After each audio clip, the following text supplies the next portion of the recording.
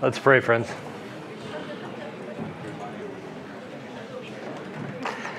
Our Father in heaven, we've heard your call. In your Son, Jesus Christ, you became like us so that we might know you and know your love and even see you dying for us and see the power of your love in the resurrection of your Son, our Savior, Jesus Christ. Our Father in heaven, we hear your call. We hear your call to love you and to love our neighbors, just as Jesus has done. And this is a wonderful call, Lord. This is a call of joy. This is a call to happiness. And we trust in you, Lord. And so today and every day, Lord, we celebrate that. We bring you praises. We celebrate what you've done in Jesus Christ. We worship you. Our Father in heaven, please bless us now in this time of worship. In Jesus' name we pray.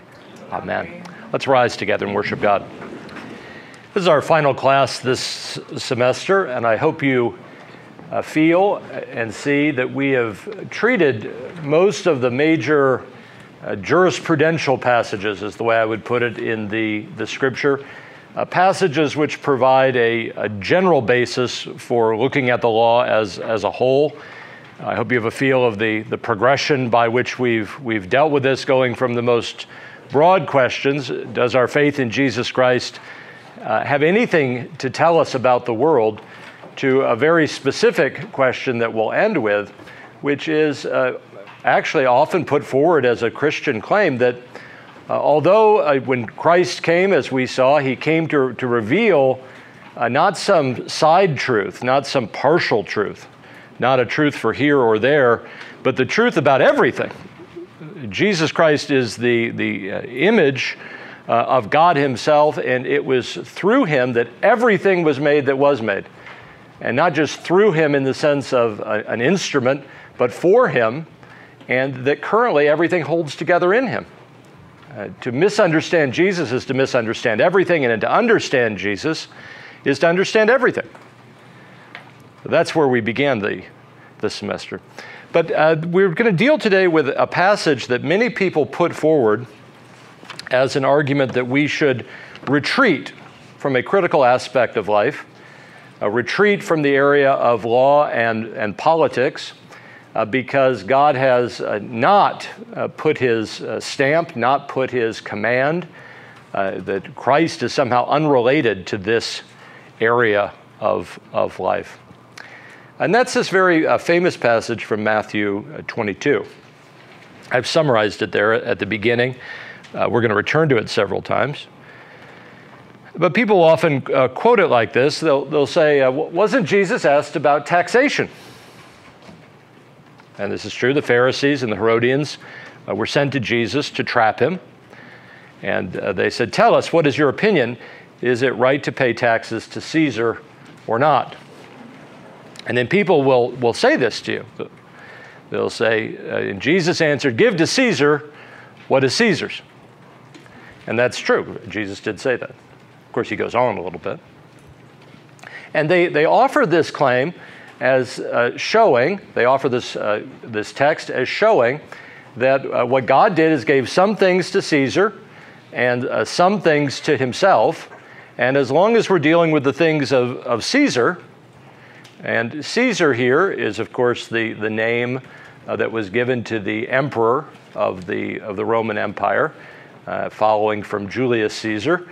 Uh, this was the name that the supreme uh, autocrat of the Roman Empire took, the supreme leader of the Roman Empire took.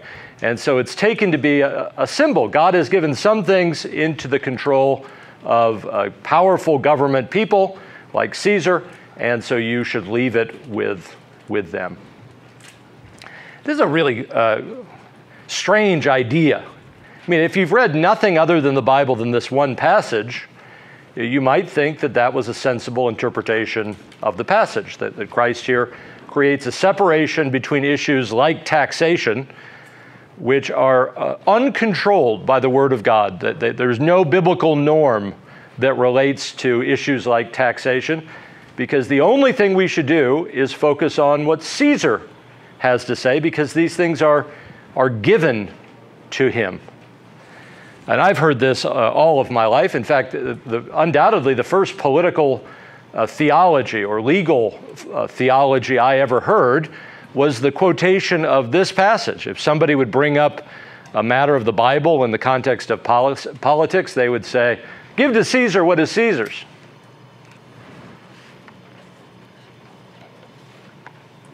Well, I, I want to, uh, I want to uh, attack this uh, misinterpretation. If you want a fuller treatment of this, just go back to the first question in our materials that deals with whether or not what God has revealed to us in Jesus Christ uh, has a universal meaning on all subjects. That was the first question we treated this, this semester. If you want more of this, just go back to that because that rebuts this interpretation.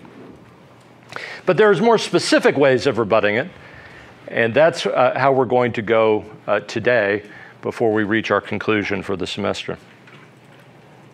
So uh, the, the people who say, give to Caesar what is Caesar's, meaning there is a, a zone, there is a, a, an area of life, a kingdom that is ruled by man that's separate from the, the kingdom of God. Uh, they, they say, well, this is uh, the paradigmatic example taxation. This question was asked in the, in the area of taxes should we pay taxes to Caesar? And so uh, this is the paradigmatic example. Taxation is something that is uh, just controlled by the ideas and purposes and will of man. And whatever man finds fitting to do in this area, it's right to do. Well, this is, uh, in biblical terms, this is nonsense. Taxation is a, an issue which is supremely important in, uh, to God. It's uh, an area that God identifies. There can be justice or injustice, there can be either fidelity to Him or infidelity. And if you are unjust and wrongful in the way you tax, you need to repent to God, not to Caesar. You need to repent to God. You, you, you can violate God's will in relationship to taxation, and uh, people who, who are abusive in taxation are actually a, a figure, a, a, common repeated trope, an idea in Scripture of people who are wrongdoers. So let's look at, at some of these passages. First off, on, on the, the list, when God is pleading with the people of Israel not to give up their right faith in Him and instead to put their, their faith in a king wrongfully in 1 Samuel 8, which we've already looked at this, this semester, the basic way that God tries to communicate the bad things that the king will do to him is he will engage in unjust taxation. He will engage in unjust taxation of many kinds. The, the first thing he says, talks about is war.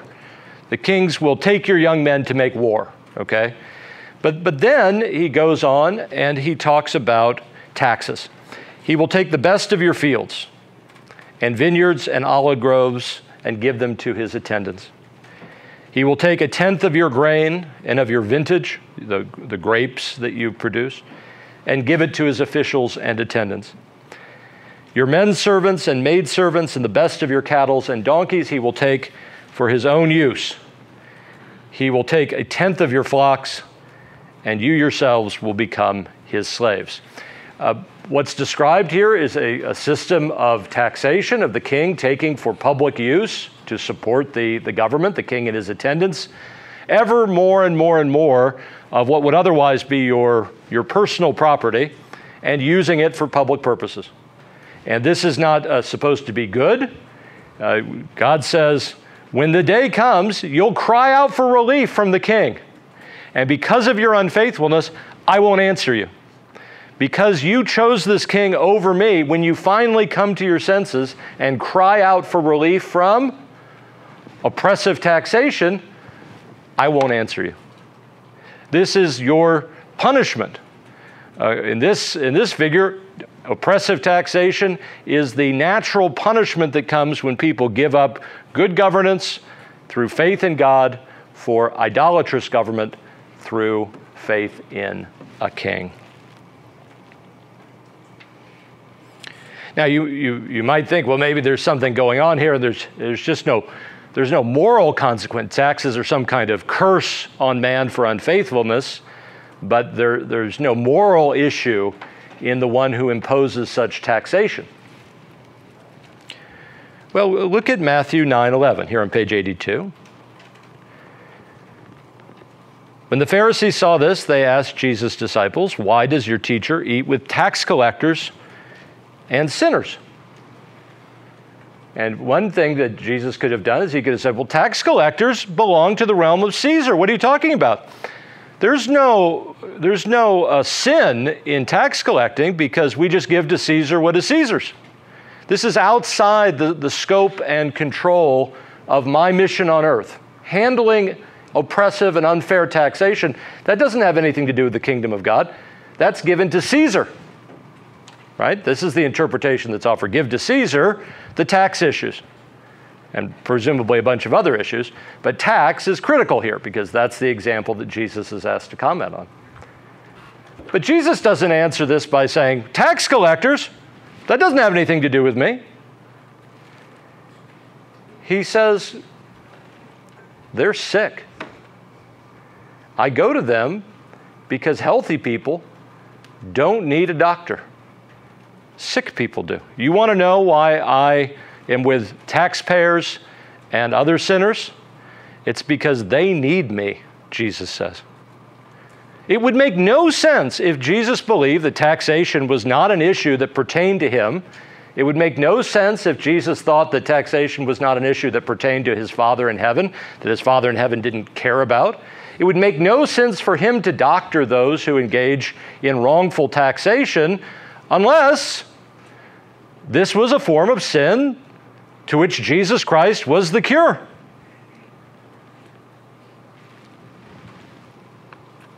Again, uh, Luke uh, 3:12. This with John the Baptist. Tax collectors also came to be baptized. Teacher, they asked him, what should we do? Now, the right answer, if tax issues are given to Caesar, is you should do what Caesar tells you to do because tax issues have nothing to do with the kingdom of God. Tax, that and, that and the kingdom of God are totally separate. Divine law, justice, norms, repentance, being washed because you've done something wrong in taxation, that doesn't have anything to do with us. Go to Caesar and ask his forgiveness. If you've wronged Caesar, then give back to Caesar. But why do you come and ask for cleansing? Why do you ask for repentance? Why do you ask for guidance? with respect to taxation issues since it has nothing to do with the kingdom of God, with the proclamation of the coming of Christ, with the repentance of sins. Well, that's not what he says. In fact, he tells them what, what's appropriate for them to do in this context. Don't collect any more than you're required to. With, with, with what voice does he speak? Was this a man in imperial robes? Was this a, centurion? No, this was a prophet of God. This is a prophet of God talking about tax. Why? Because the Bible is always concerned about tax. The law of God has tax laws in it. Oppressive taxation is a fundamental issue, a part of the fundamental curse by which man is, is condemned in, in 1 Samuel 8. Uh, Jesus clearly associates abusive taxation with sin in need of, of doctoring. It goes on, next page, Matthew 21 31. Jesus said to you uh, to them, I tell you the truth. The tax collectors and prostitutes are entering the kingdom of God ahead of you. For John came to show you the way of righteousness, and you did not believe him, but tax collectors and prostitutes did. And even after you saw this, you did not repent and believe him. Jesus talks to those who are not turning to him as Savior. He talks to those before whom the signs of the kingdom of God are being shown. And what is a sign of the kingdom of God which condemns these people, which brings them into judgment? What is a sign of, of judgment that these people have witnessed that should make it clear to them who He is? He's seen, they have seen tax collectors repent. We were just reading about that. Tax collectors are repenting, prostitutes are, are repenting, people who are in sin are repenting. And again, look, if, if tax has nothing to do with, with God, if you can take the world of tax and, and push it outside and say that belongs to Caesar, then, then how can Jesus say this? How can he say, I, I tell you that tax collectors who repent of their sins are coming into the kingdom of God before you. You should have, John came to prepare you for my coming. He came to show you the way. And what you saw was tax collectors repenting. What they should have said is, tax collectors, tax collectors, tax collectors don't have anything to do with the kingdom of God. Because give to Caesar what is Caesar's. Well, of, of course, we have the testimony of Christ that that's not true. Very famous story about this. I mean, it's so reverse of what the Bible actually teaches us about taxation issues that not only do we have general, uh, general uh, assertion that the repentance of tax collectors is a sign to the people of the coming of God, but also we have a very famous personal story about the repentance of a tax collector. Uh, Luke uh, 19. This is the story of Zacchaeus. Jesus is walking along. He looks up, sees uh, Zacchaeus in a tree, so eager, so eager to find a way to, to cleanse the, the sins of his soul that he's climbed up a tree to look for Jesus Christ. He's, he's eager to find him so much that he's adopted this humiliating position by climbing up a tree. And Jesus looks at him and says, Come down.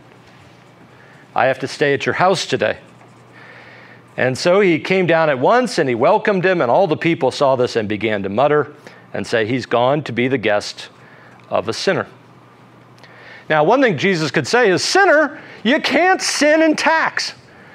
The only person you can wrong in taxation issues is Caesar because it belongs to Caesar. But he doesn't say that. Zacchaeus stands up and he said to the Lord, Look, Lord, here and now I give half of my possessions to the poor, and if I've cheated anybody out of anything, I will pay back four times the amount. And Jesus said, Today you have done your duty to Caesar, and no doubt Caesar will be pleased with you. For issues of taxation belong to the realm of Caesar. No, Jesus didn't say that. He did not say of the repentance of this tax collector for the wrongs that he'd done in collecting taxes that this only concerned Caesar. He says the opposite. Today, salvation has come to this house because this man too is a son of Abraham. For the Son of Man came to seek and to save what was lost. What lie is it to say that issues of taxation and similar things, that when Jesus said, give to Caesar what is Caesar's, he meant they have nothing to do with the kingdom of God. They have nothing to do with salvation, that God doesn't care about what goes on with these things. What kind of horrid lie is that?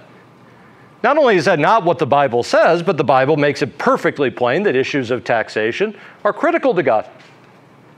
That these are issues of sin and righteousness, not just before Caesar, but before God too. But as I mentioned to you last week, the people who push these kind of uh, uh, interpretations are, are not doing so because they care about the entire Word of God. They're, they're doing so because they hope to emasculate the church and the witness of the church to the transformation of all of life. They hope to, to cut off the power of the church, which is to know the source of creation, the maintainer of creation, the, the purpose of creation, to know the way that the principle of, of love, divine love, can be embodied in this world, in our lives and in the lives of other people through repentance and turning to Jesus Christ in faith.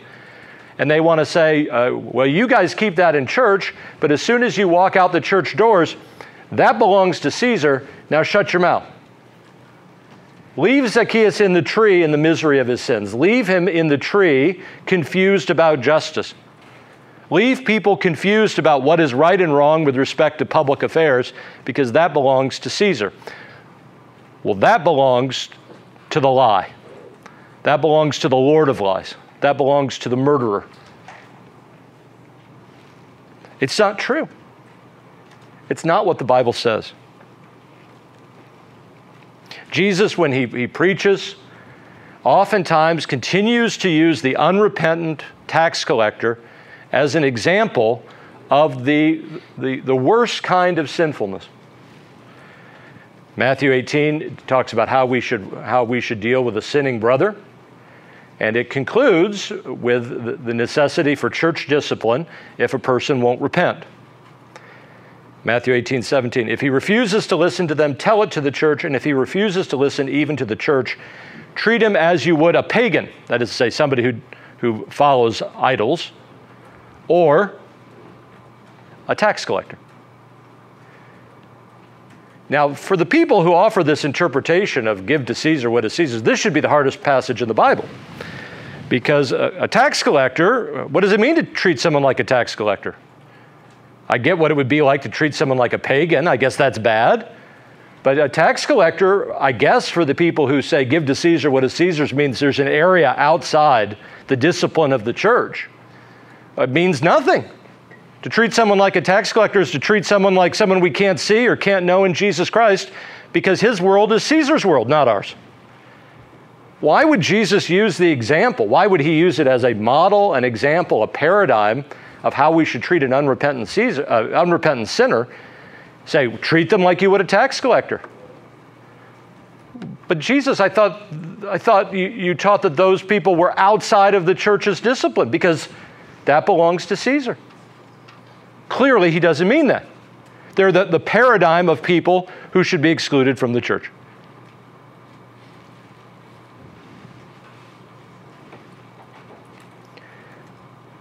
Uh, give to Caesar cannot mean what I was taught it meant.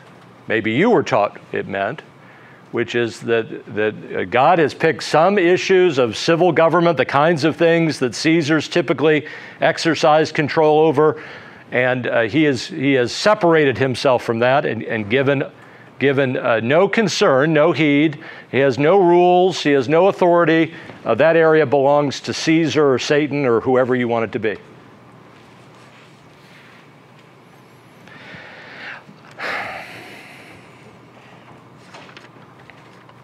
Let's look at the, the, the full uh, story now, and not just the way it's often read, as if the words end with uh, give to Caesar. Let's look at the full story now. There's actually two versions of this story if you want to read it on, on your own one in Matthew and one in, um, in Luke. But we're going to look at the, the version in, in Matthew. There's only one difference that's important in the, in the story, and I've noted it here. There's a slightly different word used for, uh, for the tax, but I, I don't think it makes much difference. Here it is. Here's the whole story Matthew 22 15. Then the Pharisees went out and laid plans to trap him in his words. And we have, we have an example of the strategy because in Luke 23, we, we hear that they accuse Jesus to the authorities by saying, We found this man subverting our nation. He opposes payment of taxes to Caesar and claims to be Christ, a king.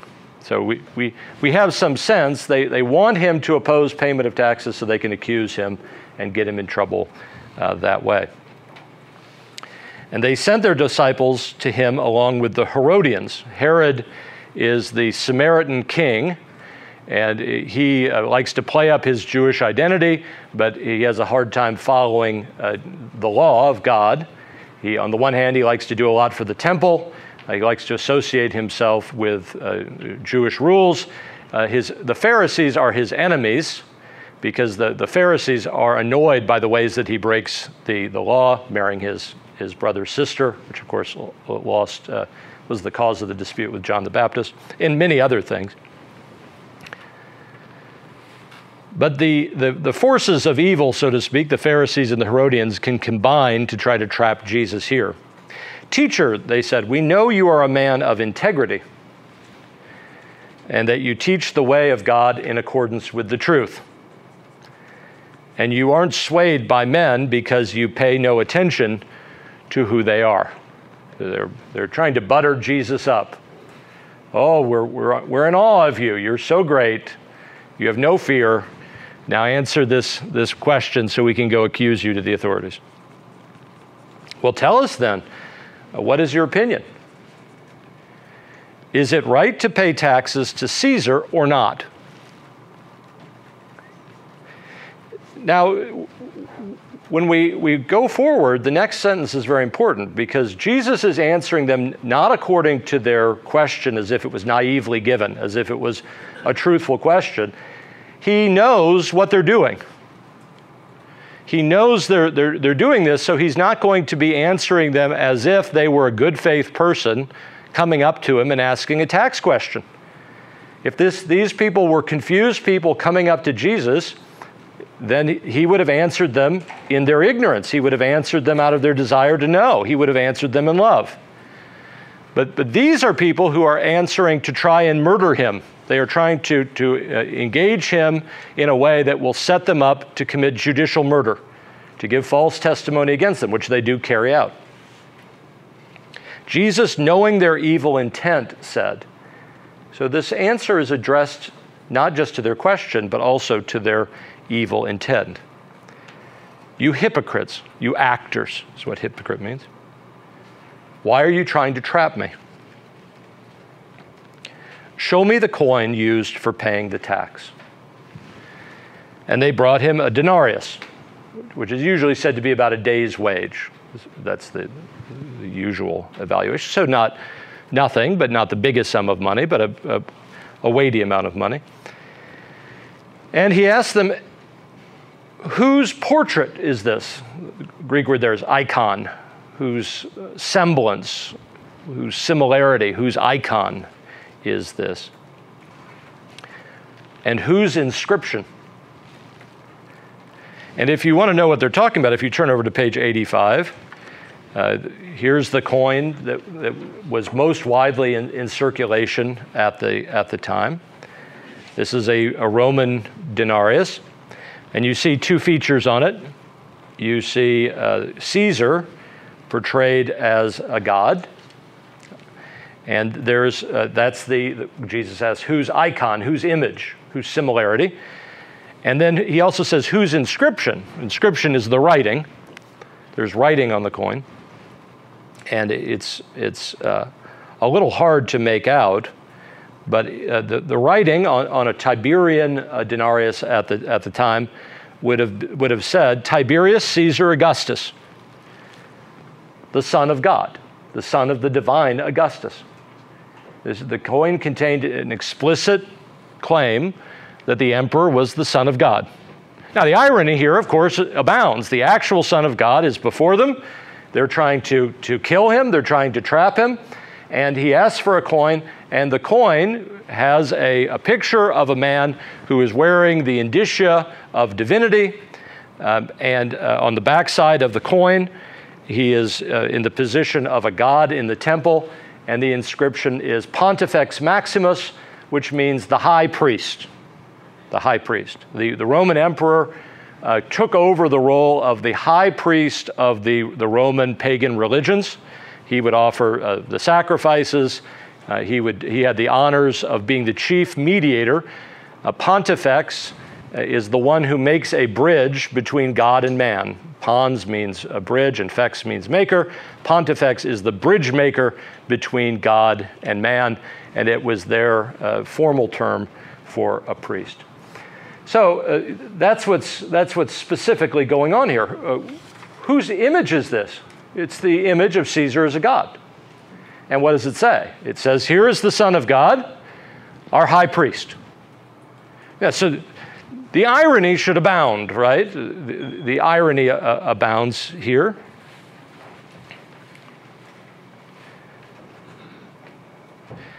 And they reply, Caesar's, which is a, a bit of an understatement. And then he said to them, Give to Caesar what is Caesar's. And this, this line is, is, it's an interesting line to read. And I someday sit down with your Bible and open this up and read it uh, in several different ways. So you can read it like this Give to Caesar what is Caesar's and God what is God's. Or you can read it with a pause. Give to Caesar what is Caesar's. Now, that's a very interesting, interesting position. This is where most modern readings end.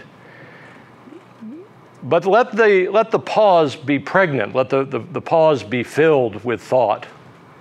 Give to Caesar what is Caesar's, and to God what is God's. This is the most frightening, frightening precept that a, a world that is obsessed with justice can hear. This is the, the, the most frightening idea that the world can hear.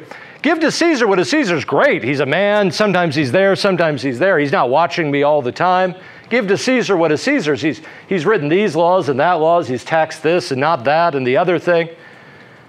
For a, for a man, I can live up to the claim of justice.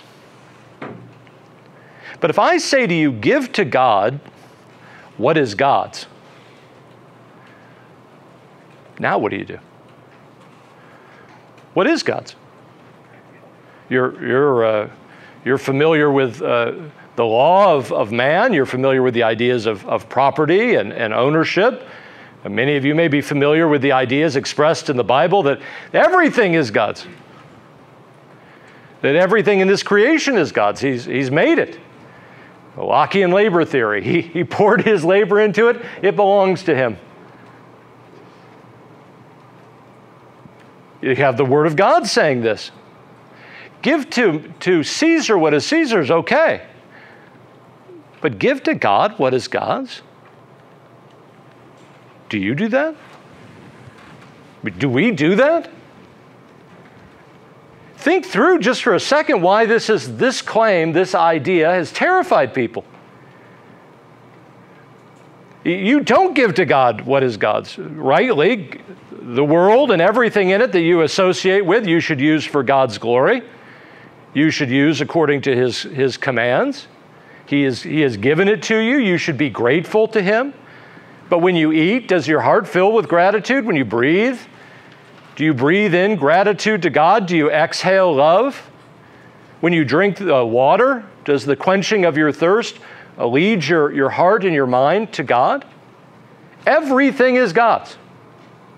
In every time you use it and everything you do, you should be giving to God what is God's. If He doesn't want the water, He, he certainly wants you to understand His love for you and to respond to that love for you.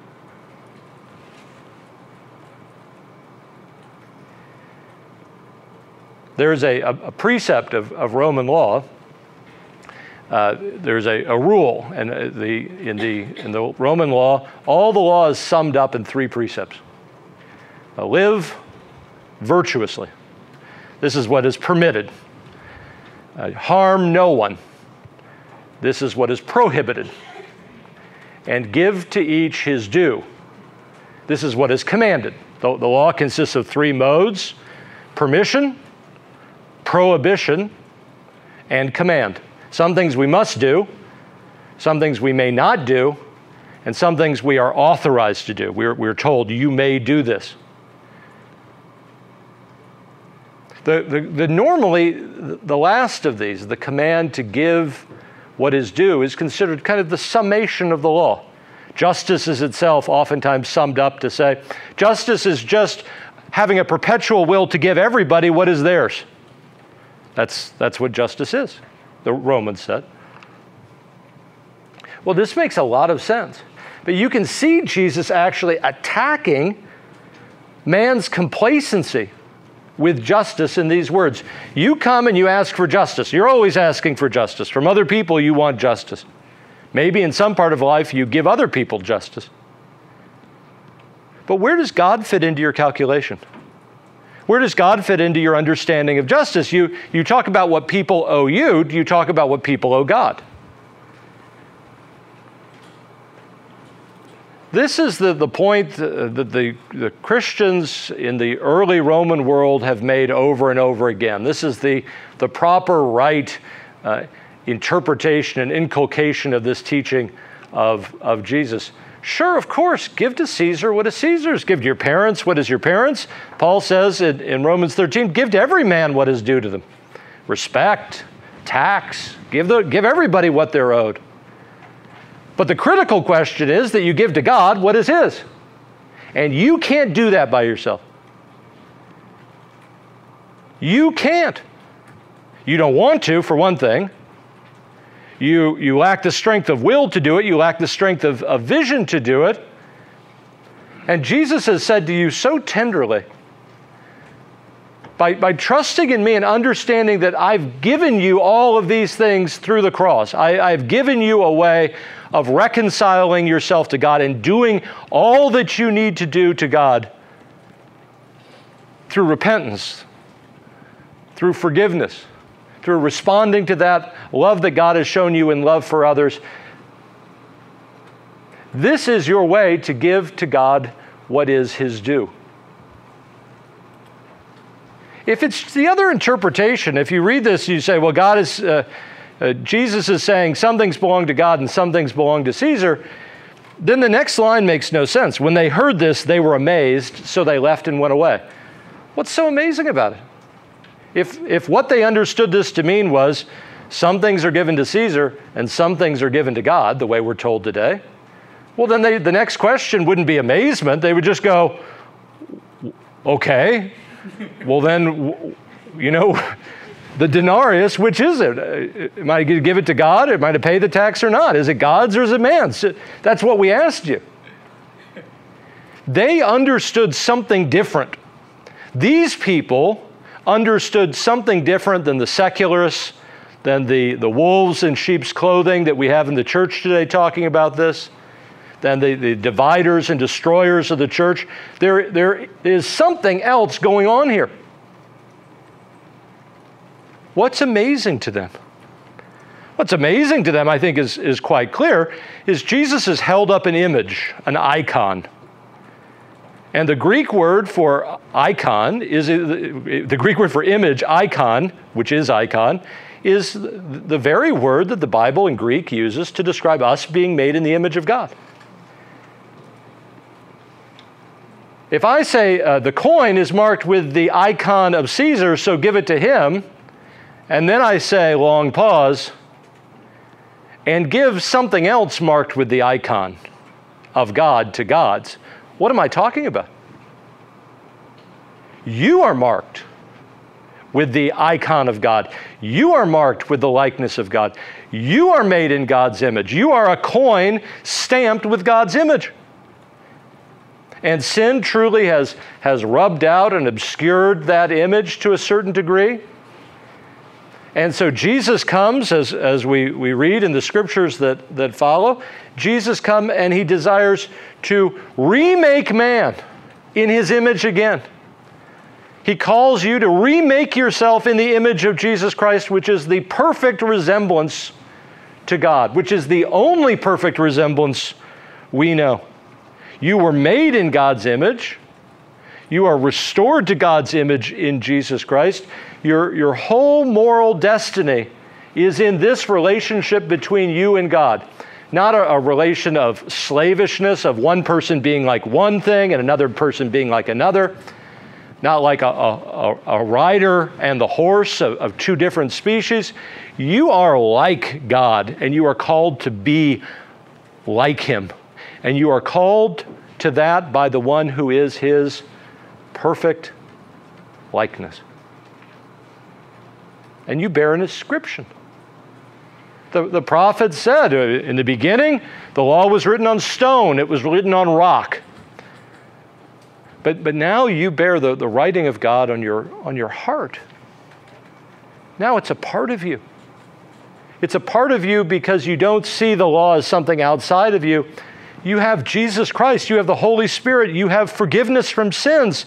All you have to do is read off of your own sinful, redeemed nature to know what you should do, which is love the one who has redeemed you and love your neighbor as yourself.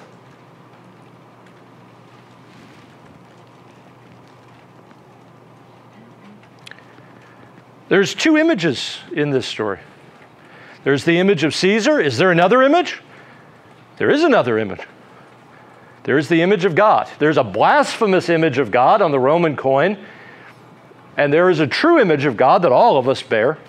There is a the truest image of God, Jesus Christ. And our, our, our purpose, our, our, our walk, our, our work is not to exclude certain things from bearing the image of Jesus Christ but to live our lives so that in everything we do, like Zacchaeus, even in taxation, We act as Jesus Christ would act. Does that mean we have to give up taxation? No. It means you have to do it the right way. Collect what you're supposed to collect.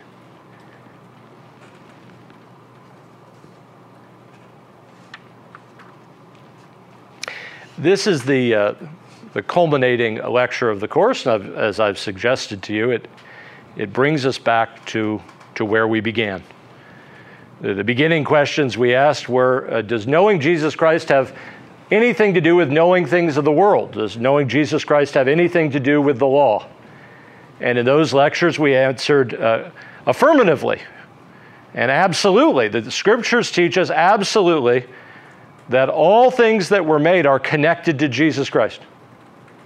All things were made through him, all things subsist in him, they remain in him, and all things exist uh, towards him for his purposes. There, there is nothing which is unrelated to Jesus Christ. And we finish here with a challenge to it, a challenge that's raised, just as, as Satan quoted the Bible, a challenge that's raised from the words of Scripture there are things committed to, G, uh, to uh, Caesar. Okay. There's respect due to man, there's honor due to parents, there's property that belongs to people. Uh, these things are true. Give them to them.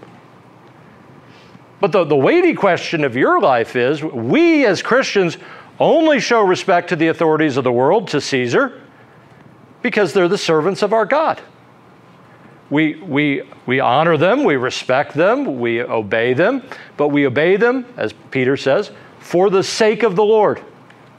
It's the same way in all of our human relationships. We, we honor and respect our parents in the Lord. We obey even a, a rough and tough master because we want to serve the Lord.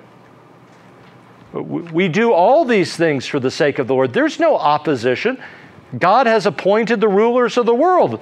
That was most of what we did in the middle part of this course is review scripture after scripture that says the structure of law, the structure of judging, the structure of every aspect of legal administration is stamped with the love and the concern and the will of God. So that if you go out to obey God, it is, it is perfectly right. It's important that you involve yourself in the right administration of these structures.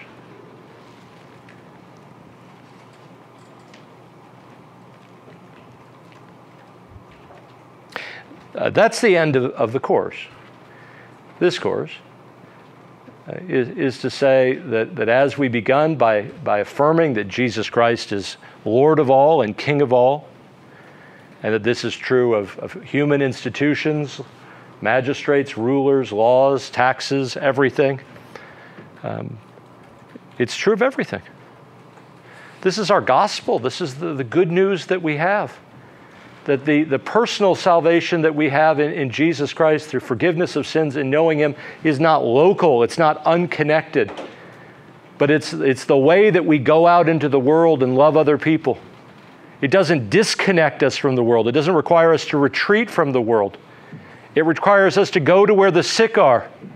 It requires us to bring repentance, even to tax collectors, even people who have violated their relationship to Caesar. We want to save those people too from that sin. This is all good news. This is all part of the gospel.